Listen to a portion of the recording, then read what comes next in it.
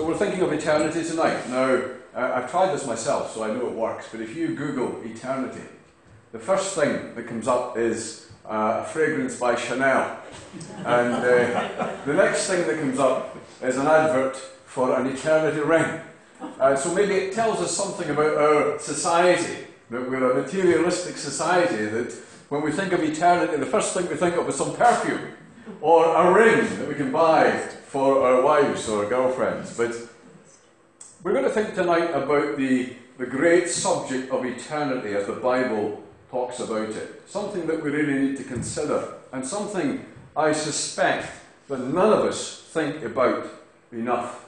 I heard an atheist recently say that Christians think too much about the world to come and not about this one. I think the reverse is true.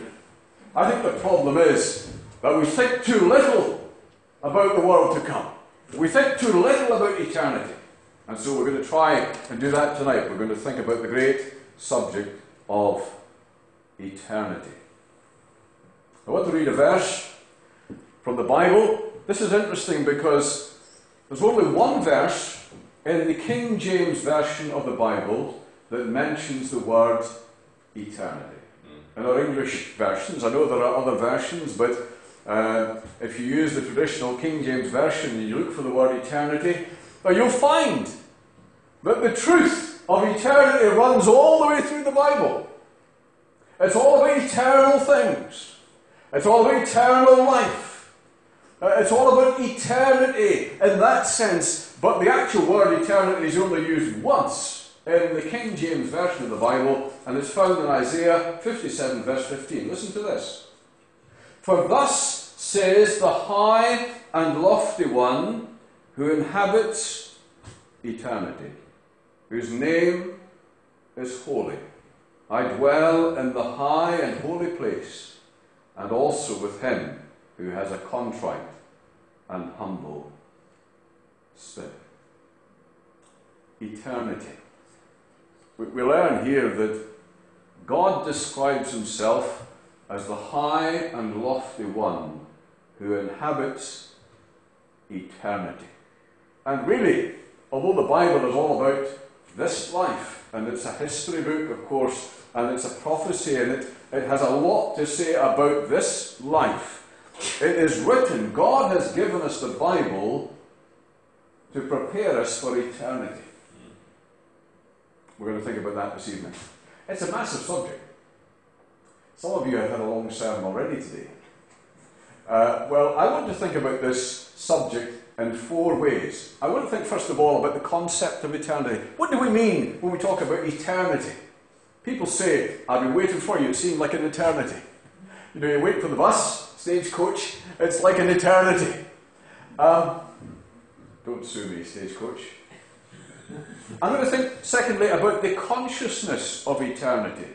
Because you see, I think that we're going to discover that all of us have an inner consciousness that there is something beyond. I was interested recently, there was a, a poll that's been done recently that shows that probably the United Kingdom is one of the least religious countries in the world. Would you believe that? A poll's come out recently that says that the vast number of people don't believe there is a God. But the interesting thing is this they talk about Generation Z, that's the young people. And it said among Generation Z, although most of them don't believe there's a God, a great majority of them believe there's something after this life. A consciousness of eternity. We're going to think about the contrast of eternity because really there's only two experiences in eternity and it's a fantastic, it's a massive contrast. And finally, the challenge of eternity. Now, now you'll be thinking this meeting feels like eternity, it's so long. But it's not going to be long, I promise you. But we're going to think about these things. The concept, what does it mean? The consciousness, the contrast, and the challenge of eternity. What does the concept of eternity mean? What do you think of when uh, the word eternity comes into your mind? When you think about this, when you came along tonight and uh, realised that the subject was going to be exploring eternity, what comes to your mind? What's the first thing that comes to your mind? Well, I think there are three things we need to understand from the Bible when we think of eternity. And that is that it is an endless state. You see, eternity is not so much a location, it is a state of existence. And the Bible teaches us, and probably this is the first thing that comes to our mind, that when we say we've been waiting in eternity, we mean an awful long time. We've been waiting a long, long time. And the Bible teaches us that eternity is, first of all, an endless state. I remember as a young boy uh, sitting on a bank um, on the shores of Cullen, my hometown. I always give it a plug. It was a lovely summer's evening, and I was looking out. I was quite a young boy at the time, but I was thinking of this idea of just endless existence. I can remember that as clear as day, looking out as the sun was setting over the Moray Firth. Beautiful, calm night. The sun was going down. I was just a young boy sitting on the bank on the grass on my own, and it came into my mind what an amazing thing to think of just endlessly going on and on and on and on and existing and never coming to an end. That's the state of eternity. It's an endless state. The old preachers, I remember one of them uh, illustrating it like this. He said, You go along Cullen Beach. We'll stay in Cullen. You go along Cullen Beach. He said, You imagine there's a bird. And it comes to Cullen Beach. And it takes one grain of sand in its beak. And it flies away. A thousand years later, it comes back and takes another grain of sand, flies away. A thousand years later, it comes back, takes another grain of sand. And he said, every thousand years it comes back and takes one grain of sand, one grain of sand. And he said, when that beach is clean, he said, eternity is just beginning. I never forgot that. It's a, you might think it's a crazy illustration. It's a simple illustration. It's stuck in my mind anyway.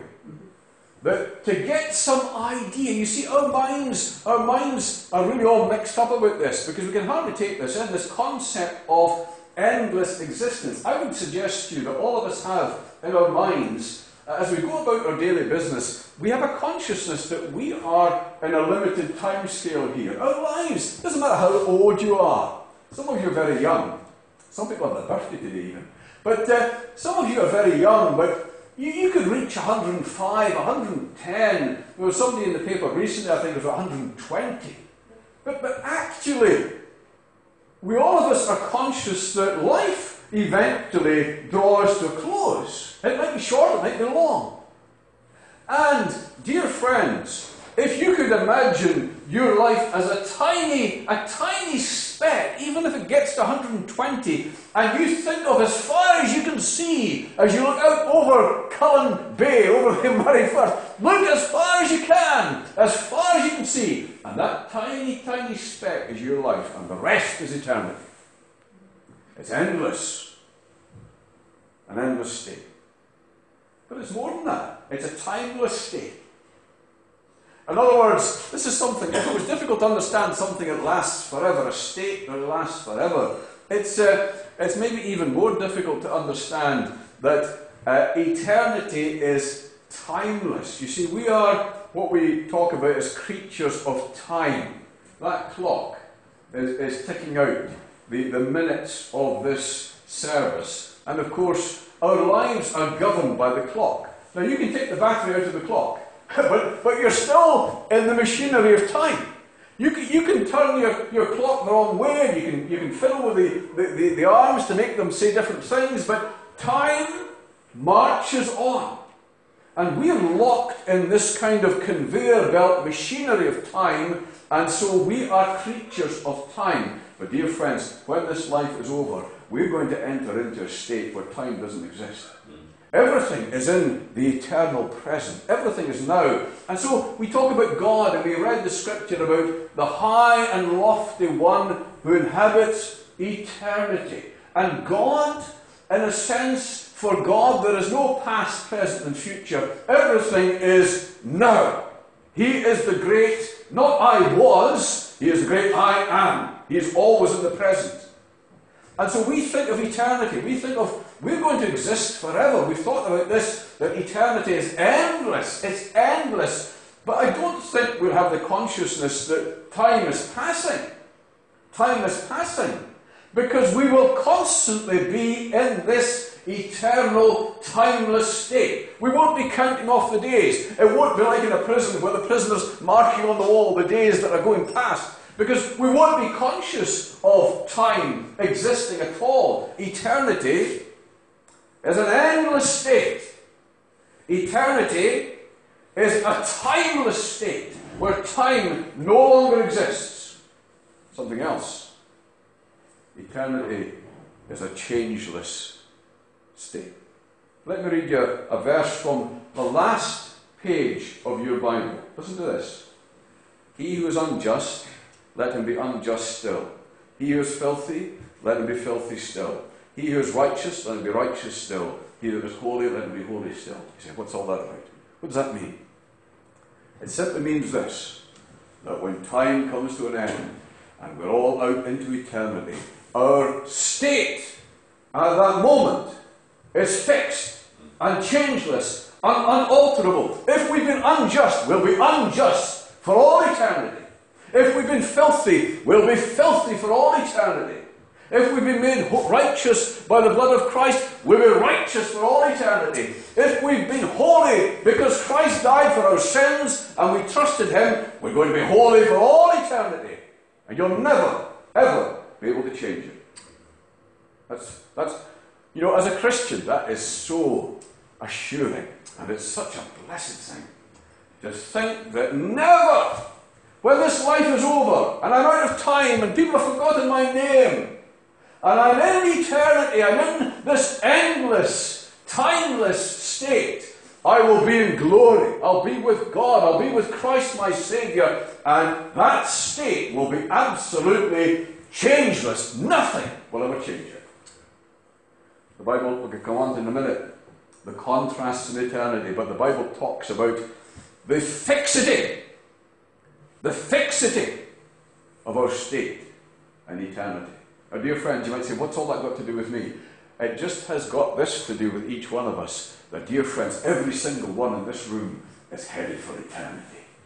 We're all on the march to eternity. We're all on the move to eternity. Our little lives, however long or short they might be, they're coming to an end. And we're going to be out into an endless, timeless, changeless state. And what you do with Jesus Christ in this minute of time will determine your changeless state throughout all eternity. Hmm. Absolutely incredible. That's the concept of eternity. It's an endless state, it's a timeless state, it's a changeless state. Nothing will ever change. I want to think about the consciousness of eternity. Um, there is another version, one or two versions, modern versions, which use the word eternity again. And here is where they use it. In Ecclesiastes chapter 3, verse 11. Speaking about God, He has made everything beautiful in its time. Also, He has put eternity in their hearts, except that no one can find out the work that God does from beginning to end. what a statement! He has put, God has put eternity in our hearts. What does that mean?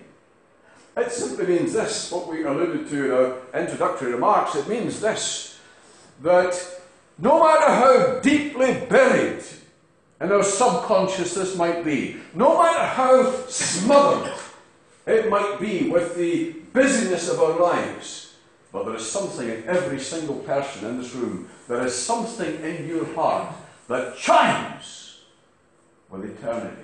Something in you that is aware that eternity exists, that there's something beyond this life. I wouldn't try to spend time trying to persuade you that this life isn't everything, because I think you know that already.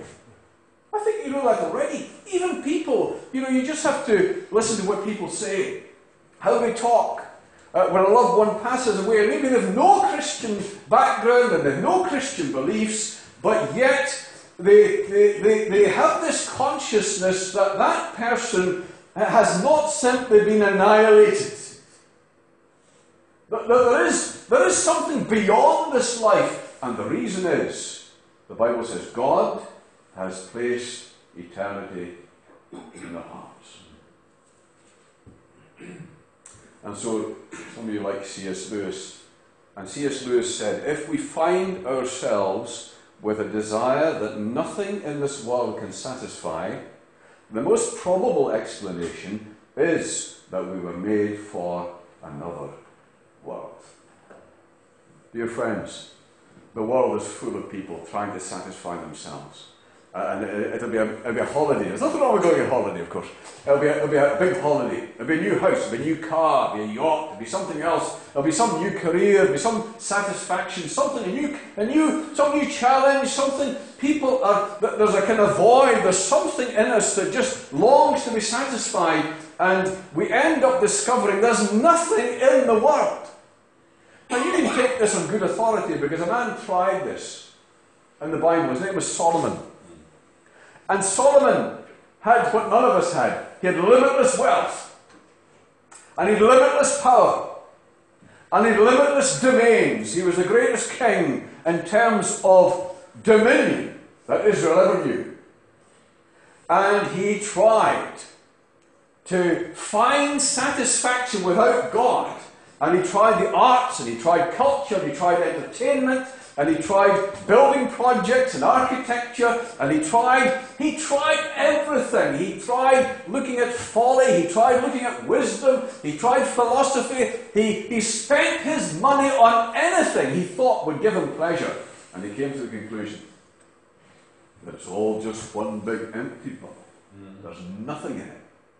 And C.S. Lewis says, the reason why you feel like that, Solomon, the reason why you feel like that is that you're made for eternity. God has put eternity in their hearts. I don't know if you know about William Blake. He was a strange kind of man. But uh, he wrote a poem To see a world and a grain of sand, and heaven and a wild flower, hold infinity in the palm of your hand, and eternity in an hour. What's he talking about? He's talking about this that when we consider a grain of sand, it's, it's part of the world, but he's really saying that it stands for the whole world. It, it speaks to us. And, and, when we hold a wild flower and look at the beauty, it, it's telling us something of the glory of heaven. And, and, he says, holding infinity in the palm of your hand and eternity uh, condensed into an hour. What he's, what he's trying to convey, I think, is this. It's quite mystical, really, but what he's trying to convey is this but when something moves us, whether it's the beauty of creation, whether it's a piece of music, whether it's a piece of poetry, whether it's a work of art, there's something that just moves us, that stirs us. And William Blake says it's just a wee glimpse of eternity. It's a glimpse of something bigger. Because God has set eternity in the hearts. I believe this. I believe everyone in this room. And one of the great masterpieces the great strategies of the enemy is to make your life so busy that you never think about this. And to fill your life with so much noise. You know, they talk about white noise. White noise is a kind of frequency of noise, as I understand it, that just blocks out everything else. That nothing else can, can, can make, can make a, an entrance through. And the world is full of white noise. You see people walking down the road and they're going to enjoy the scenery, and you think, well, it might be if they lift their eyes up to the heavens. Look at the mountains, look at the sea, look at the beach, look at the, look at the glory of creation around them. It might well be that they'll think about God. And then you discover that they've got their earplugs in and uh, they're being blasted by some heavy metal or something. And uh, it seems that through media, our senses are being assaulted so that we can't even hear the voice that's within us that's telling us that there's something beyond this life. It's called eternity, the consciousness of eternity. I want to speak about the contrast of eternity, just briefly. You see, you might think, well, I can understand, well, uh, you might struggle to understand that it is an endless state and it's a timeless state and it's a changeless state and there's a consciousness in us all that there's something out there beyond this life. There's some other existence. Once our lives are over, there's something out there. But you say, well, what is it like? What's it going to be like? That's the next. If there's something out there, what's it going to be like? What is it going to be like? And the Bible tells us that, that there, are, there are two experiences in eternity. There are two experiences, just two. And, and, and, either you'll experience one or you'll experience the other, and they are so different, they are diametrically opposed, they're tremendous contrasts, and so the Bible talks about eternal glory or eternal judgment. It talks about eternal life or eternal death. It talks about eternal heaven or eternal hell and the lake of fire. Now, you see, I'm a Christian. I'm a believer in the Lord Jesus Christ. I've trusted Him to be my Saviour. And for me, eternity, listen to this, and, and for every Christian here, for every believer in the Lord Jesus, eternity is going to be unending glory, unending life, unending heaven. Uh, dear friends, those of us who are Christians, we can sometimes be discouraged in this life um, let, us let, just lift our eyes and, and look a bit beyond this life and understand that there is an eternity waiting every soul that's trusted Christ that is absolutely stupendous. It's an eternity of glory, of life, of heaven, of being with Christ. And the Bible says that eye hasn't seen and ear hasn't heard what God has prepared for those who love Him. But the Holy Spirit gives us a kind of insight into it. Isn't it wonderful to be a Christian and to know that when this life is over, however long or short, there's eternal glory, eternal life, eternal heaven. Ah, but you say, well, I've never trusted Christ as my Saviour. I've never believed in Him. Well, dear friend, the experience that awaits you in eternity, this great contrast, this great endless, timeless, changeless state, is eternal judgment eternal death and eternal hell and lake of fire. Dear friends, these things are solemn, they're serious. The Lord Jesus once, he, he, the Lord Jesus, when he told a parable, uh, very often it would say that he spoke a parable, but sometimes when he told them something that was a true story, it doesn't mention the parable. And one day, he pulled back the curtain on eternity and he gave him a glimpse. A man who is in eternal glory and eternal life and eternally enjoying the bliss of heaven. And there's another man and he's in hell and he is in eternal judgment and eternal death. Dear friends, can I just say to you, what's your eternity going to be like? If you've trusted Christ to be your Saviour, if you've relied upon Him, then you can look forward to eternity as a glorious thing, a wonderful thing. And I was just reading recently about, uh, I think it was John Wesley when he died, and other, other men who were uh, gospel preachers and who trusted the Saviour and who, who knew the Lord Jesus as their own personal Saviour, and, and at the moment of their, of their death, that there seemed to be almost a, a, a radiance about it, there was a glory about it. It was, it was stepping out of time with all its suffering and all its sorrow and all its sadness and stepping out into unimaginable glory. I've told you the story before, and some of the Christians here will know who I'm talking about. A man called Finlay MacLeod. And Finlay came from uh, on the west coast and he was a real character. And he was converted down in Fort William. Uh, and uh, he was a fine Christian. And he was very ill.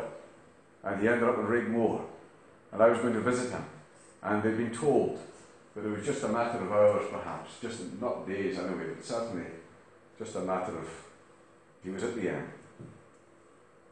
I remember thinking, going up on the lift to Raigmore, you know, you're going up on the lift, and uh, I was thinking, what am I going to say to this man? How do you, what do you say to somebody in, you know they know that they're just about to slip out into eternity. And I'll never forget this. When I, when I got into the ward, the room where Finlay was, he propped up on the bed. And when he saw me, he just, was a beaming smile on his face. And before I could say anything else, he said, Before me lies unimaginable glory. Unimaginable glory. Isn't that wonderful? Wouldn't you like that? Wouldn't you be able to face death with certainty? Ah, but there's another story the Lord Jesus told of a man who lifted up his eyes from hell and torment. Dear friends, these things are not Victorian things to scare people or, or, or some kind of medieval uh, ideas. These are the words of the blessed Son of God Himself. And He pulled back the curtain and He told the people that there's a great contrast in eternity and the man who's in hell, he wants, he wants some comfort, he wants some relief from heaven. And Abraham tells him in the story, Abraham tells him that between us and you there is a great gulf. Fixed. There's no change. There's no change. I want to finish now thinking of the challenge of eternity. Because you see, you might listen to this and think, well, that's quite interesting, and it's a, a dreadful thing to think about, really, and it's amazing, and it might be true. But I want to tell you the story just as we close about this man called Mr. Eternity. Do you remember the story of Mr. Eternity? Arthur Stace. Does anyone know about him? Arthur Stace. Well, Arthur Stace was born into poverty in Australia, just outside Sydney. His father and mother were both alcoholics. And his father, uh, his parents had quite a number of children, and they just deserted and abandoned the children to, to bring themselves up as best they could. And, and Arthur learned to go around stealing the milk bottles from the doorstep to, to keep himself alive, and, and going through the, the rubbish bins to see if there was any food that he thrown out. And when he was seven years old, uh, his father deserted the family and his mother couldn't cope. She was a young alcoholic herself. And the children were given into care. And he was, he was put into foster care. Well, he grew up with, with no uh, idea about Christianity or about the Bible or anything, and uh, uh, very little education. And uh, eventually he went to stay with his sisters in Sydney who were, were operating in an immoral way and he, he, he entered into a life of crime. He began actually work at the age of 14 down a mine in Australia. And the first wage packet he had, he was 14 years old, he went along to the liquor store and he spent it there. And by the time he was 15 and a half, he was an alcoholic. And from then on, his life just went down. Uh, and he got involved in immorality and in crime and then the First World War came along. And he uh, decided that he would enlist and try and escape this life that was just dragging him down into deeper and deeper degradation. And uh, he, he, became a stretcher bearer in uh, uh, the, the army, the, the Australian army, and he was uh, stationed in France for a while and he was a stretcher bearer, and he, he thought that the whole experience, the dreadful experience of war and, and what he'd done, that it would change him. But when he got back to Australia, he discovered that he just went back his old ways. And his life was now, he was now living on the street. He was homeless, living on the street and drunk, living on the streets of Sydney. Well, there was a church in Sydney, and the preacher was a man called Bob Hammond. And they had a service that was aimed at down and outs, as they were called. Probably it's not politically correct to talk about down and outs, but you know what I mean. And these men who were homeless, were on the streets, and they would uh, bring them in, they would have a short service, they would give them a cup of tea, something to eat. And on the 6th of August 1930, um, some friends, some homeless people, uh, persuaded Arthur Stace to come along to this service.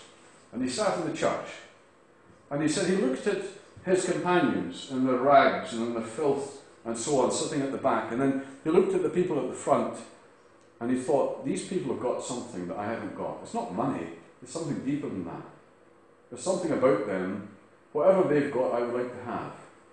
And then the man, Bob Hammond, who is well known in, in Sydney for his gospel preaching, he began to tell the story of the cross, the story of the Saviour.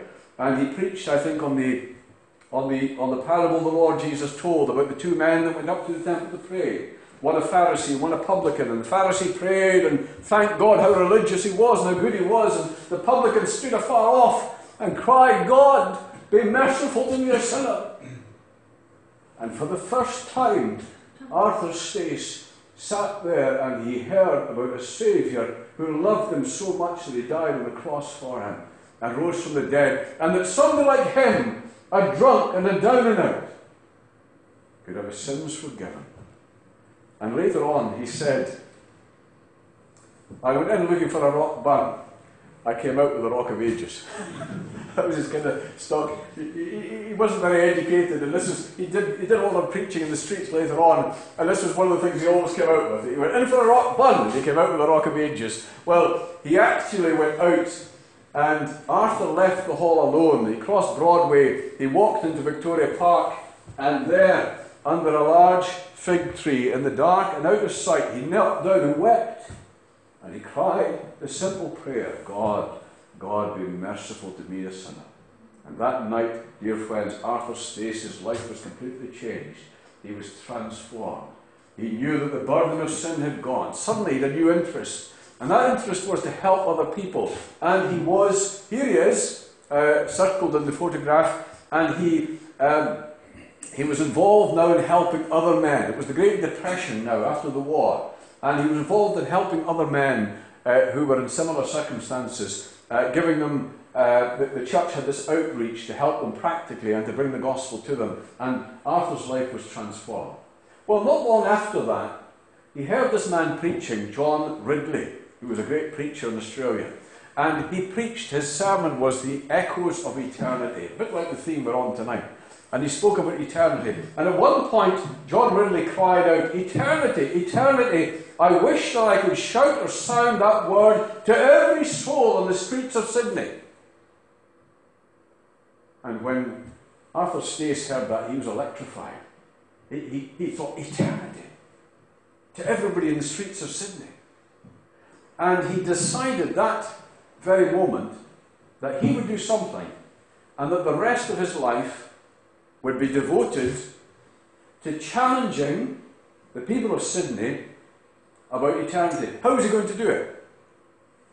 Well, next morning he got up about four in the morning, had a time of prayer, he took a piece of chalk in his hand, and he went out before anyone was up, and he went through the streets of Sydney, and every 30 yards or so, and he was hopeless at writing, but for some reason he said that God gave him help to write, and he wrote on the pavement, eternity.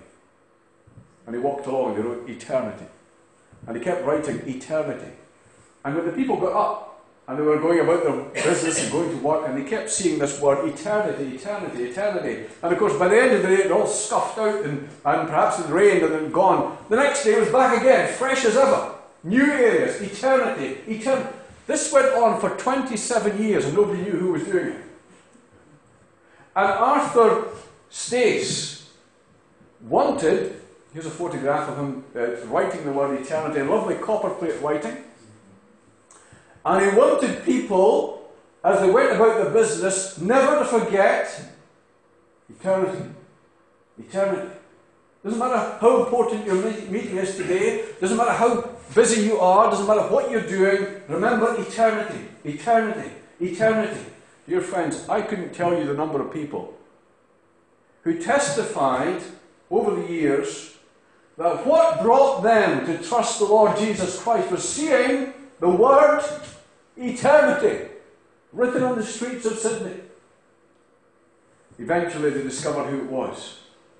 And he was interviewed by the newspaper and he became a bit of a celebrity. He continued right up to the end. Eventually, he was, he was in a, a, a sheltered complex. His health wasn't too good, but all, every day he possibly could, he was out with that chalk and he was writing on the road. Do you know this? That the, the, the state government initially thought of prosecuting him. for defacing public property. I'm not suggesting don't get your paint can out tonight now. don't run around oh, spray painting everything. But they changed the law for him because they were so impressed with what he was doing. Now, some of you may remember when the millennium broke, 2000s, and you know, as they're keeping a watch of all the cities of the world, the first city, the first city they do is Sydney. Sydney's the first city. And you'll know, if you've been to Sydney, Sydney Harbour, the bridge. That's the, that's the icon of Sydney. And so there's this fantastic fireworks display, and the sky was ablaze with fireworks. And it's shooting up, and a new millennium is beginning. It's the year 2000. And of course, it's been covered by all over the world because Sydney's the first big city to enter into the new age, the new millennium. And when the fireworks are all over, and they're all dying down, and it's getting dark, suddenly the bridge was lit up. And here, written on the bridge, in Arthur Stace's handwriting, was the word eternity. Still, today, if you go to Australia, you'll find the graveyard where he's buried, and there's a memorial at the entrance, and throughout the city, in, in copper plate writing, there, is, there are art installations, eternity, eternity, all over the city. And here is a statue of Arthur Stace, and he's writing. Dear friends, why did he do it? Well, he wasn't really a preacher. He, he couldn't take the Bible maybe and explain all the all the, the, the truths about Christianity and about the Bible, but he could do this. He could make people think about eternity.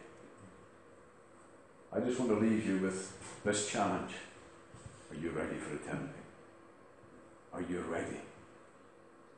Dear friends, there's a Saviour who loved you, just like he loved Arthur Stace There's a Saviour who loved you and died for you on the cross, paid the price so that your sins could be forgiven. He wants you to be with Him in eternity. And it's wonderful to think that when a loved one, when someone who has trusted the Saviour passes out of this life, they are with Christ, the Bible says, which is far better. And the, the great glory of eternity that stretches out unending, changeless, timeless. And the Lord Jesus secured it when he died on the cross. But dear friends, remember this. If you never trust the Saviour, you might be religious, you might be a church member, you might be respectable, but if you've never been born again, if you've never trusted Christ to be your Saviour, you'll find that when time ends, it's endless judgment, it's endless hell, it's endless death. What a dreadful eternity. Are you ready? Remember the story of Mr. Eternity.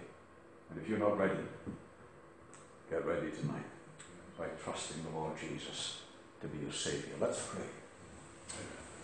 Father, we give thanks that it is possible to be sure that we're going to be in glory for eternity. We give thanks for the wonder of the salvation that is available because Jesus died on the cross and rose from the dead. We pray that somebody here tonight, perhaps not sure, perhaps not uh, convinced that they have trusted Christ, we pray that they may believe on the Saviour at this very moment, that they may accept Him, that they may trust Him, that they may cry out, like the publican and like Arthur Stace, God be merciful to me a sinner.